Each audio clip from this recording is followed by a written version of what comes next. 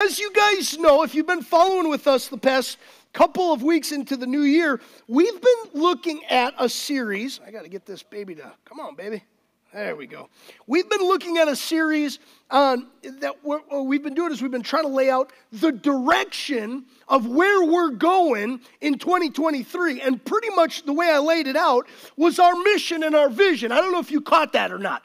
But but we laid out there that the direction where we're headed is reaching disconnected people and helping them become disciples of Jesus who then make other disciples of Jesus. Disconnected to disciple. We want to make disciples of all the nations, like Jesus says in Matthew 28. And then what we did is we unpacked how we're going to get there. And how we're going to get there, remember the little the, last week, the little target, you know, that's kind of where we're going. How we're going to get there, the tire with the two sides to it, is primarily by gathering together around God's word and prayer.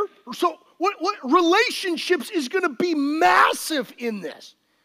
I mean, the whole point of gathering is relationships right? So we're going to gather together around the word and prayer and we're going to abide in Jesus. We're going to we're going to stay connected to the vine because apart from the vine, we're not we're not going to bear any fruit. We're not going to be anything. So we're going to gather around the word and prayer daily in our own home, weekly in God's home, and bi-weekly or twice a month in a, in a friend's home. We're going to see our small groups as an intricate part of abiding in Christ. And then we're not going to just gather, we're also going to go where we live, work, worship, and play. And what we're going to do in, in our going, we're going to primarily be thinking about disconnected to disciple. And how can we build relationships with people, authentic relationships with people, and help move them into a discipling relationship with Jesus, who then they go and make even more disciples. That's, that's what we laid out the past three weeks as our direction of where we're going and the little tire thing of how we're going to get there. What I want to what I want to now spend some time on, and I've been I've been praying about this and thinking about this series we're kicking off today for a couple months. And I didn't know exactly where to place it, but we've placed it right after our kind of direction series. And the idea now is that this series on prayer is going to be like, it's going to be like a plow. See, I see prayer as the thing that's going to push us in the direction of where we're going. And so the, the plow is going to be pushing us in the direction of disconnected to disciple, gathering and going. But it's interesting. How, What's the power of that? What's the what's going to be the engine of that? Well, it's going to be prayer. And it, today, the, the text I'm going to unpack for us is from Luke chapter 10, uh, verses 1 through 12 ish. So if you have your Bible, you can start looking at that. We're going to go read that. And then that's the sermon for today. That's the message. As we kick off this series on prayer, I'm going to use today as kind of this linchpin that connects our series direction, which is mission. We're going to disconnected people and help them become disciples who make disciples. And we're going to see how prayer is an intricate part that's pushing us in that direction and the need for prayer in that. Now, this isn't going to be the only thing about prayer we talk about. We're going to be dabbling with some prayer and fasting conversations, which is maybe something you've never talked about. I'm kind of learning a lot more about fasting, and that's going to be part of this series.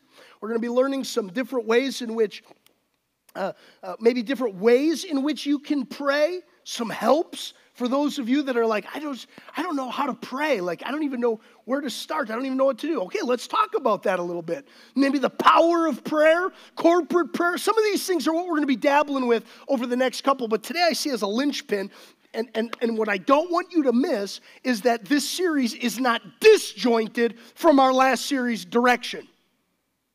It's intricately connected, and I'm going to show you that today in our reading. So, Luke chapter 10, let me read this, let me pray, and then we'll get in. Luke chapter 10.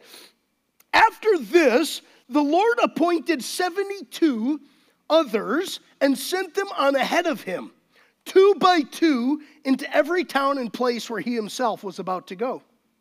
And he said to them, The harvest is plentiful, but the laborers are few. Therefore, pray earnestly. That Greek word there can almost be translated as beg. Pray earnestly, beg to the Lord of the harvest to send out laborers into his harvest. Go your way. Behold, I am sending you out as lambs in the midst of wolves. Carry no money bag, no knapsack, no sandals, and greet no one on the road. Whatever house you enter, first say, Peace be to this house. And if a son of peace is there, your peace will rest upon him. But if not, it will return to you and remain in the same house, eating and drinking what they provide. For the laborer deserves his wages. Do not go from house to house. Whenever you enter a town and they receive you, eat what is set before you. Heal the sick in it and say to them, The kingdom of God has come near to you. This morning in our 920 time, when we circled everybody up that was still here, there was a testimony. Somebody shared that there was prayer over and, and a healing that was brought to somebody this past week. How cool is that? But whenever you enter a town and they do not receive you, go into its streets and say, Even the dust of your town that clings to our feet, we wipe off against you. Nevertheless, know this that the kingdom of God has come near. I tell you, it will be more bearable on that day for Sodom than for that town. There's so much in here. We could be preaching a series just on this. So uh, I'm going to try to tackle this as best as I can, but let's just go to the Lord in prayer, if that's okay. Let me just pray for us, and then I'm going to kind of try to unpack this. So, Lord, even now, we just come to you in prayer. Lord, I ask you that you'd help me. Please help me now to, to, to share what needs to be said this morning. And I pray that, that as that sharing happens, Lord, that your spirit would come, that your spirit would blow over this place. God, without your spirit working in our hearts and in our lives, it's just going to fall on, on it's just going to fall. The, the, words will fall to the ground. So I pray that you would help me like you helped Samuel when that word was brought to him, that none of his words fell to the ground. Oh God, please come and do that work now. Let these words not fall to the ground, but let them enter into our hearts and into our lives and let it shape us and mold our very souls. God, I pray that you would be, yeah, just open us up to that uh, and hear only what you have for us. Not a word more than that, not a word less than that. In Jesus' name, amen. Amen. This today, what I want to do is I want to get us thinking about corporate prayer a little bit. I want us to think about praying together towards the direction of, of, of kind of where we're going. And so I, I have a list here, and I'm going to just throw this list up here. And if you would, I'd encourage you to take out your phone and grab a picture of this, if you wouldn't mind. Grab a picture of this. I'm just getting, I'm going real practical here, right off the bat. I'm just going boom, right into the practical. Um, would you begin to pray for some of these things? Um, some of these things, uh, another church plant planter situation. We're hoping that that can happen this next year. We see a need for planting more churches in this area. Would you pray for that? Would you begin to pray for that? Uh, for the Plum Grove efforts and what Pastor Nelson is trying to do, would you begin to pray for that? Um, would you begin to pray for new leaders to emerge for our small groups so that we can be creating new communities of, of care and love and discipleship to be happening? Would you be praying for that? Would you pray for disconnected people in our lives? Would you really begin to pray over specific names of people who are disconnected from Jesus or disconnected from the local church? And would you pray for more disciples who would, be, who would make actually more disciples? And actually, that's going to be a lot of my message today. Would you pray for that? Um, I want to ask our church to begin to pray together in a kind of same direction. This isn't to take you away from praying for your grandkids, and this isn't take you away from praying for healing and all the st- other stuff that we pray for. I'm just asking us to begin, and I'm doing it right at the front of the, uh, of the series. Let's start praying in a specific direction kind of together as a church family. And these are some of the things I'm, I'm asking. Would you start to pray for some of this stuff? That's all I'm asking. Okay? So, would you do this? Because, and now let me unpack a little bit here. Jesus, after this, the Lord appointed, this is in, in Luke chapter 10, the Lord appointed 72 others and sent them on ahead of him, two by two, into every town and place where he himself was about to go. And Jesus said to them, The harvest is plentiful, but the laborers are few. We've got to talk about that for a second.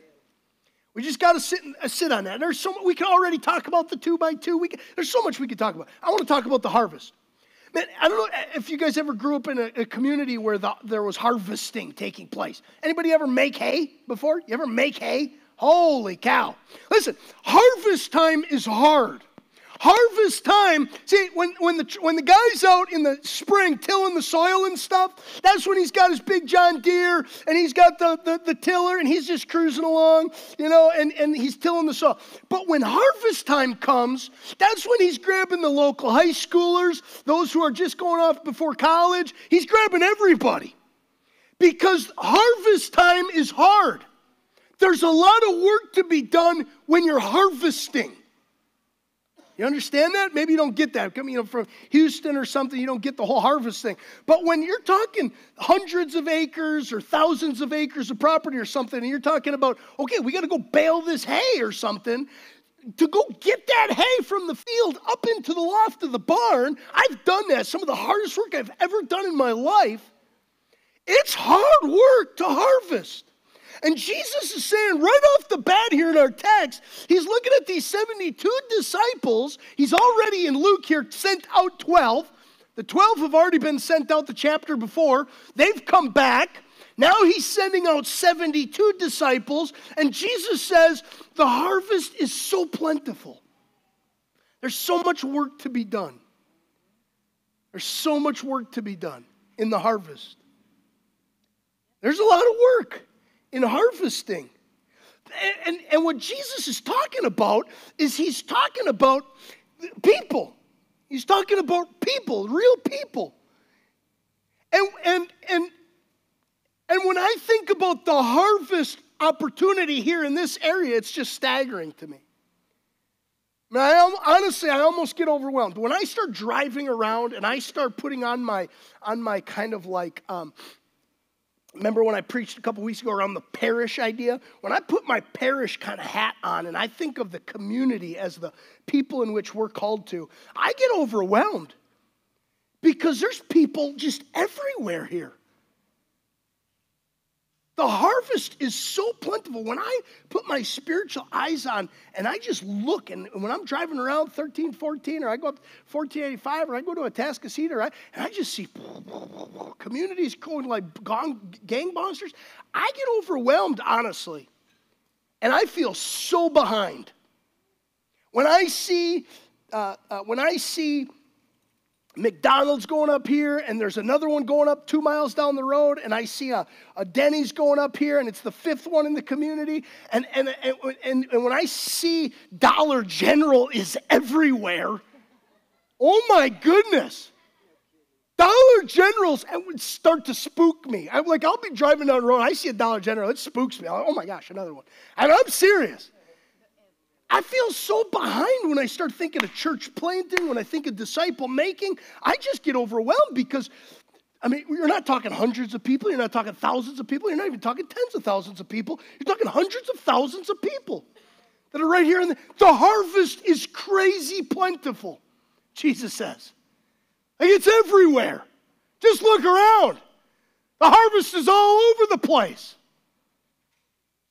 There are so many who need to hear about Jesus. There are so many who need to uh, go into deeper relationship with Jesus and with his church family.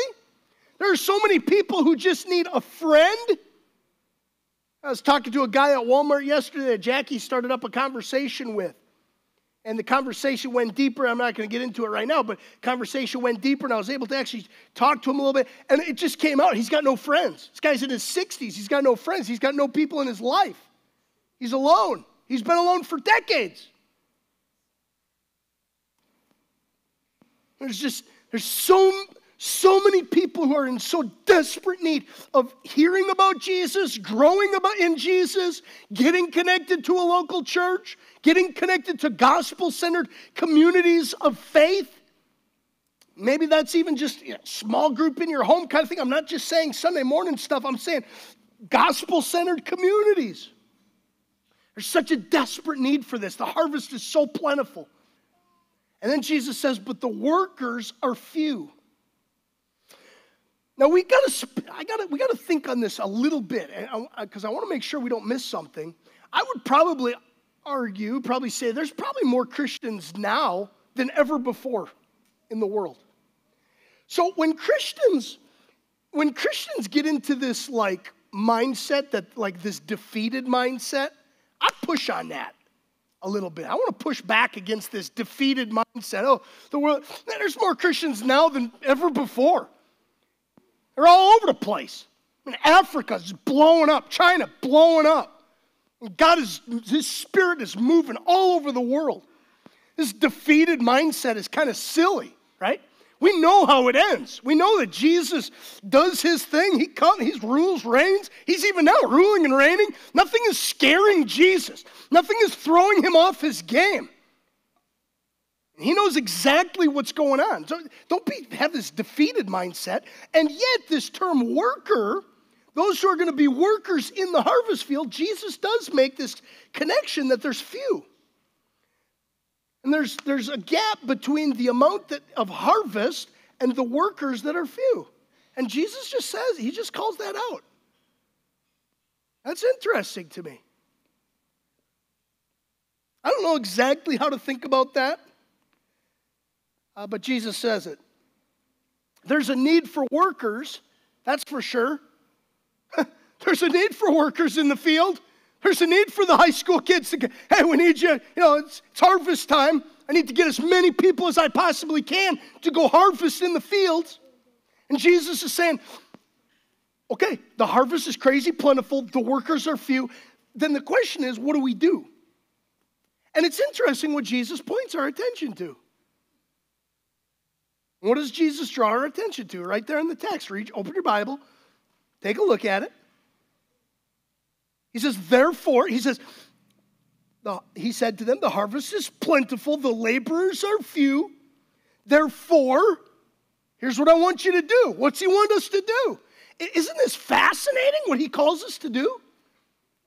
Therefore, pray earnestly. The Greek word there is like beg. It's Pray earnestly, beg God. For what? For workers. For workers. beg God for workers. Pray earnestly. God is always trying to help us to rely on Him more.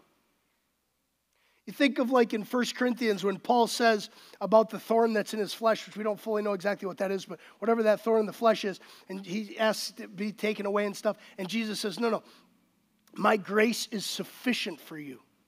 For my power is made perfect in weakness. So Jesus is always drawing our attention to rely on him. He's always trying to get us to focus on him. And this isn't just in discipling people, this is in every single area of your life. He's always drawing you to look to Him, to rely on Him. So, in your finances, what is Jesus going to be trying to do? To get you to rely on Him. Well, that's if you're doing really poorly in your finances and, and, and you don't have any money. He wants you to rely on Him. But if, if, if you're really stacked right now, you know, it's, it's raining, what does he want you to do? He wants you to rely on him and look to him. He's always getting us to look to him. Right? And this is in your relationships with other people. What's he trying to do? He wants you to rely on him. And this is in your in, in, in every aspect of your life. Your job, what's he trying to do? What's he wants he always wants you to do? He always wants us looking to him. This is actually two days ago in my, as I've been reading through the Psalms and stuff, I, I just spend time in the Psalms every day. Psalm 28 came up, and I, I, thought, I thought of this. I don't even have it on the screen. I thought of it this morning. Oh my gosh, that's what I read last night, yesterday in my, in my reading of the Psalms. Psalm 28. The Lord is my strength. That's what stood out to me when I was sharing with my family uh, at the kitchen table the other day. The Lord is my strength. I'm probably, right now, Seth Kunze, I'm probably the strongest I'll ever be. I, mean, I don't think I'll probably get any stronger.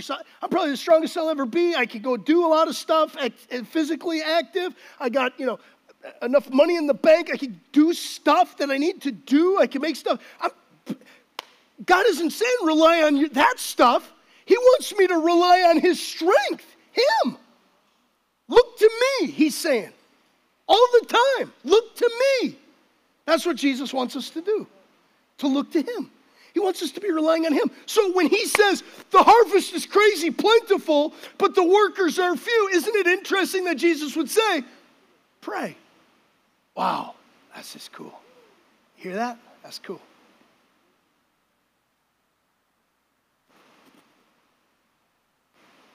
Yeah. The Lord of the harvest, you know, He can make it rain. He can make it rain.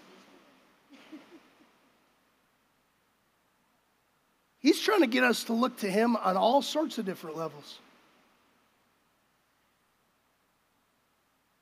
When it comes to discipleship, when it comes to reaching this community, what does He want us to do? First thing He wants us to do is pray. Pray to the Lord. Pray to the Lord of the harvest. Pray to the Lord of the harvest. For what? More workers. Isn't that interesting? This is something I'm, I'm going to get really practical here. I'm going to get really specific. Um, this is just an ask. Uh, we're going to be in this series all the way through the month of February. And I want to get our church praying together in the same direction, praying for some of the stuff we talked about. But also, I want to draw our thought into maybe trying, this is just, this isn't like a command, but maybe trying to pray together at the same time. And so, what I'm going to encourage us to maybe do is at 10:02 every day, in the name of kind of connecting Matthew or uh, Luke chapter 10 verse 2. Oh, isn't that cool? Come on, keep it coming.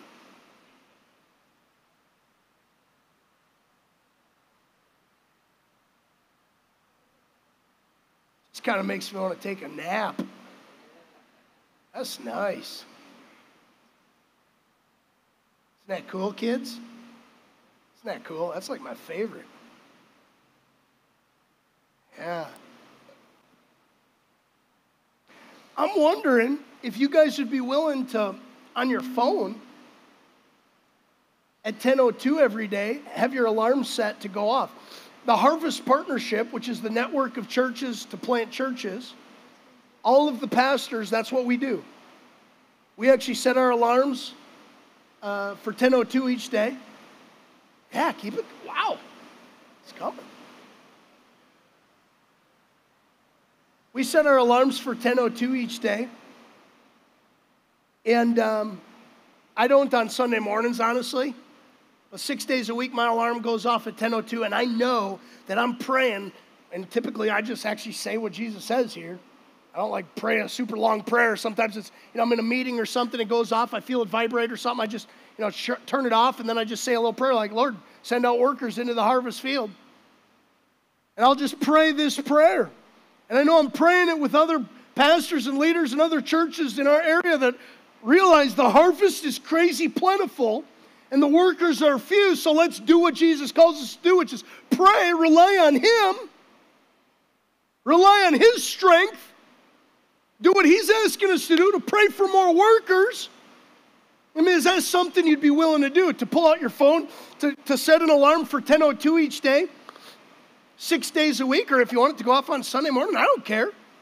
And to just pray, Lord, we're going to pray for harvest workers because the harvest is crazy. There's so much work to be done. I want us to get thinking about that as a church family. Would you join me in that? Setting your alarm. I mean, it's super easy. And all of a sudden, as a church, we all set our alarms for 10:02. It's not like this magic thing happens or something, but we just we're reminding each other, we're reminding ourselves that there's others who are praying the same thing. And we're doing it together corporately. Notice Jesus isn't talking to one guy in this text. He's using the Texas y'all. It's all plural. Y'all, I want you to be praying. Y'all are going to do this, right? And then Jesus throws us a curveball. This is my last point. Jesus throws us a curveball because he says the, the, the, harvest is crazy plentiful, the workers are few, so I want you to pray. And so far we're tracking with it. And then what happens? See, this part you're not going to like. You've probably been fine with everything so far. The next part is that Jesus says, Go. See, this is a little twist. Jesus throws us a curveball. You become the answer partly to the prayer.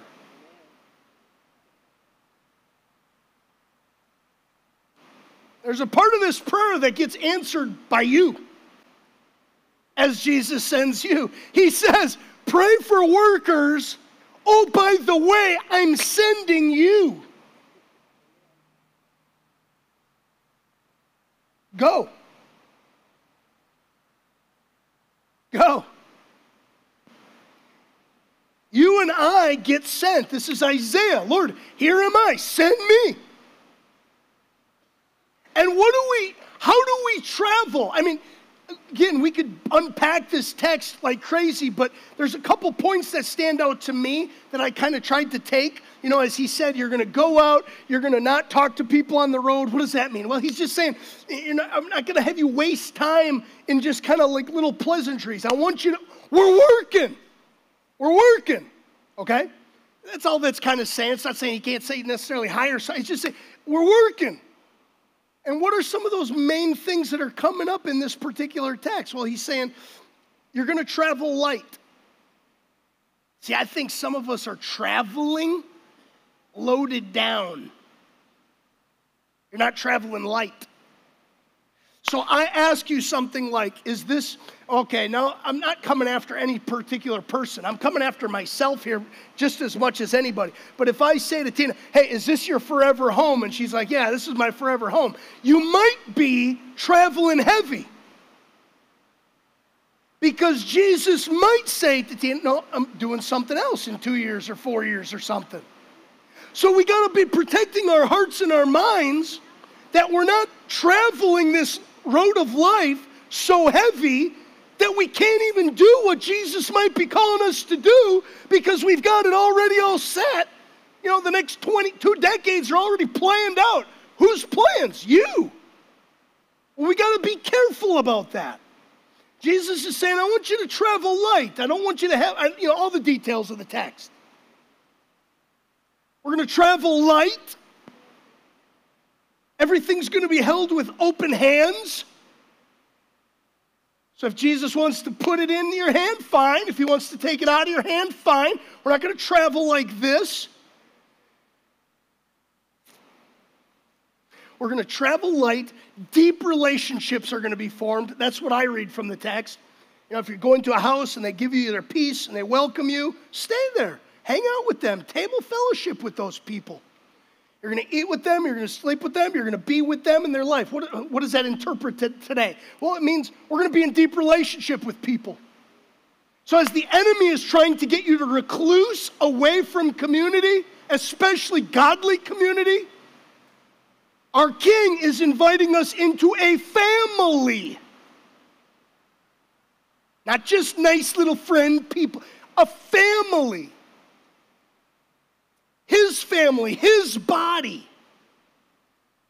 So the enemy is going to try to get us to recluse and step back and away and not, not let anybody know.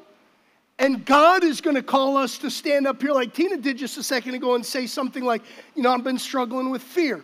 You know, I've been struggling with this lately. That's some of my struggle. Now she opens up the door for community. Because now I know I can share and I can know that when we say come as we are, I actually mean it. It's not come as you are, but really, actually, everybody's doing pretty good. No, it's come as you are because if we got honest and open and shared and got relational, you see kind of what I'm saying? So, deep relationships are going to be important. I was so proud of our core class. The other day, our core class met, and I was so proud of just how open everybody was. There was like nothing off the table, is how it felt. They were just sharing. It was like, this is cool. This is good. Our relationships are going to go deep because it's all, it's all, uh, come on. Come and heal, Lord, the deep stuff of our heart. And what, what are they doing? They're sharing about the king. They're having spiritual conversations, right? They're having spiritual conversations focused on the king. The kingdom is going to come. They're healing when, when they're called to heal, when they're called by Jesus to raise, put out their hand and to pray over people. They're going to do that, and healings will happen. They're called to talk about the king. That's what we're called to do today. We're called to travel light, called to be super relational with people. We're called to have spiritual conversations that are primarily about the kingdom. And the primary part of the kingdom is the king. That's what I get from this text. That's what jumps out to me. And it makes me want to pray earnestly, beg of God, send out workers into your harvest field. But then to not miss the point that as I pray that prayer, oh shoot, God is sending also me. You see that? Don't miss that. Uh, honestly, one, one interp- translation of this, uh, not translation, one uh, commentary this past week I was reading was really pushing this text to just be like church leaders and stuff. It was fascinating. Don't miss, these are the 72 that get sent out. This isn't just the apostle church leader, this is the whole church. All of us are called and sent out. I just disagree with that commentary, that's all. What are we going to talk about? Man, we're going to talk about Jesus as our King who saved us, who loved us. We're going to be relational with people. We're going to travel light. We're going to live our life with open hand, not holding on so tight to everything. We're just going to follow Jesus. Jesus, wherever you want me to go, I want to go. And we're going to lean into his strength. We're going to lean into his strength as we pray and then as we're sent, we're going to lean into His strength. The Lord is my strength, He is my shield. Next week, we're going to bring up how fasting can potentially be a help in this. I'm giving you a warning in case somebody freaks out about that. It's just Jesus says, "My disciples, you know, will fast." Uh, that's probably something that'll happen. So I'm excited about that because that's been just kind of, I'm not going to bring like super authoritative thing next week necessarily, just kind of more of a dabbling. Our leadership team, our senior leadership team right now, and our team facilitators are praying. Called them into through February a time of prayer and fasting. We're praying 1002 prayer. We're praying for our church family. We're praying this stuff that we got up on the screen because we want to lean into the Lord's strength this next year. We're not going to lean into our little wisdom, our little minds, what we think. We're going to lean into Jesus and what he's got for us. And we're going to we're going to do that because he's died for us. He's saved us. He loves every single one of us. He loves every single disconnected person in this community more than we even do. And he, he asks us to join him in that. He wants to bless us as we participate with Him in this incredible journey. And I think it starts with prayer. I actually think it starts with prayer. Pray to the Lord of the harvest for workers and go. Let's pray. Lord, thank you for this time as a church family to just talk about prayer. And um,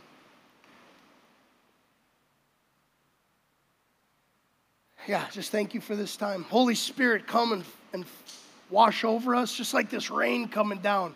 It'd almost be cool if we could just take the roof away for just a split second and just feel the full, just get blasted. That's what I pray your spirit would do, Lord, is just come and blast us with your presence and your work and your activity. I pray for strength for our church family this next week, God. As we pray, even as we just pray, that you'd give us the strength to take that step to do that. Maybe it's not at 10:02. It's not like that's this magic thing. It's maybe a helpful way for us as a church to do that. But to at least be praying and, and, joining you in, in that. So I pray, God, that you would draw our attention to yourself. Keep drawing us closer to you. And as we draw closer to you, keep drawing us closer to each other, Lord. Keep drawing us closer to each other. I thank you, God.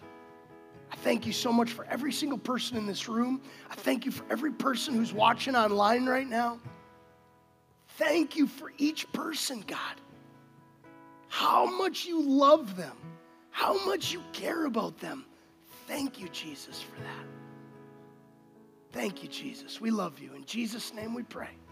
Amen.